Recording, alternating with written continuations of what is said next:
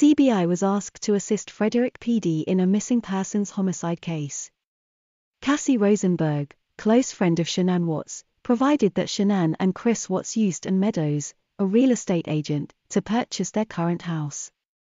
It was learned that Chris Watts contacted Meadows on the 13th of August 2018 about selling the house.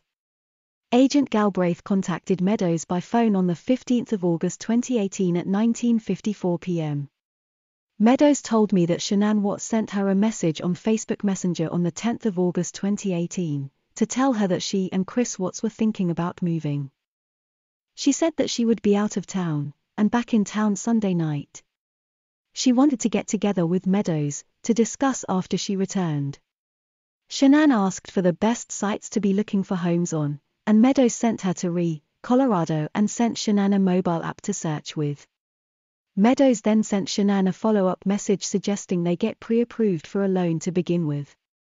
Shanann did not reply Ann Meadows expected that she would once she returned to town.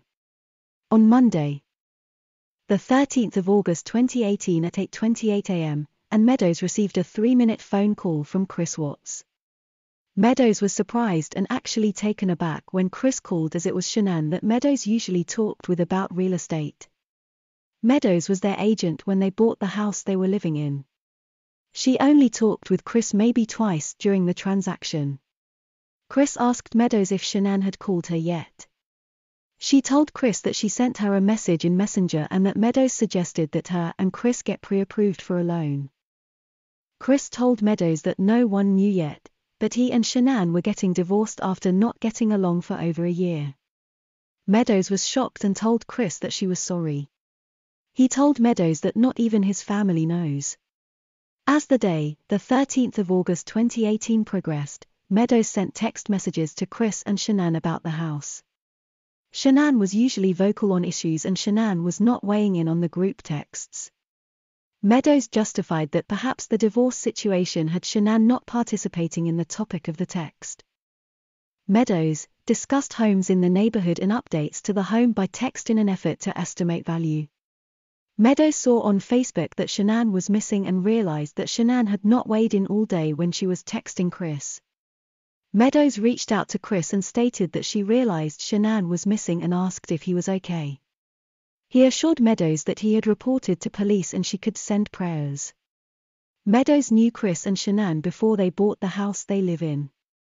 They were both loving to each other and seemed really in love. Shanann was lovely, sweet and ambitious. Chris was quiet and a good father. Meadows knew nothing about the Watts finances. Meadows believed that Shanann was successful with Thrive and she worked hard.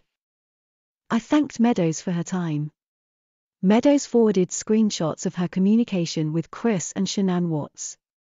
Review of the screenshots forwarded to me by Meadows.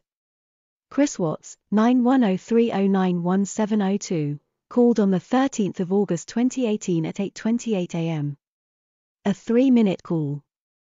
Meadows provided a screenshot of the contact entry, which shows this call and duration. Facebook Messenger messages between Shanann Watts and, Ann Meadows. Shanann reaches out to Meadows to tell her that she and Chris would like to talk with her about selling the house. She told Meadows that she was out of town until late Sunday. Meadows asked Shanann where they wanted to move. Shanann told her he, Chris, was talking about Brighton or Fort Lupton, stating they cannot move too far south due to his job. Shanann said they had just talked about it last night. She then said they have thought about it off and on, but the construction behind them was holding them back. They now have a lot of it done. Before Shanann paints the baby's room and more, she wanted to see where they are at and their options. Meadows suggested Brighton and Erie. Shanann said they do not want to downsize, for the same price they are paying though.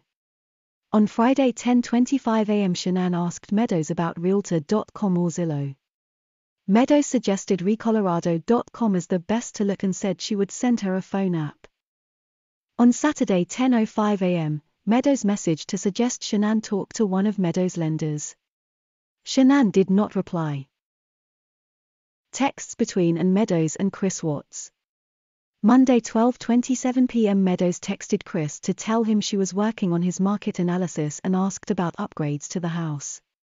Chris replied that the basement is still unfinished and there are no upgrades. Meadows asked about a comparable model in their neighborhood, and Chris agrees to drive by it when he gets home. Meadows says that it is under contract and she will call the realtor to see what is sold for to get a number. Meadows asked is Shanann okay? She hasn't weighed in all day, Chris replied, she hasn't been around all day.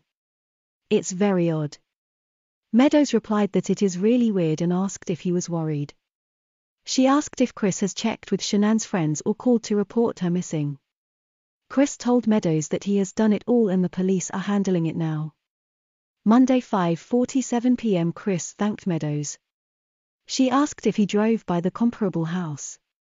He said that he just did and that is the exact model. Meadows was waiting to hear back from the agent and then they could set a time to meet.